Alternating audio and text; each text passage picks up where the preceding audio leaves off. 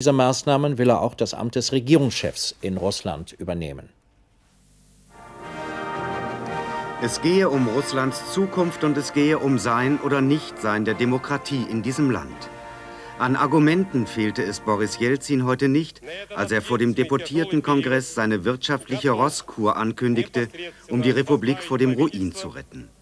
Freie Preise, konsequente Privatisierung, ein neues, effektives Steuersystem, radikale Einsparungen